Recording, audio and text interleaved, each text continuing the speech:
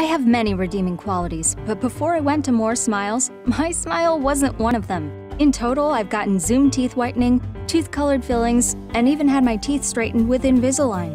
Now I only need to come for regular checkups. And best of all, I have a smile I'm truly proud of. Do what I did and call 502 499 0442 for an appointment today.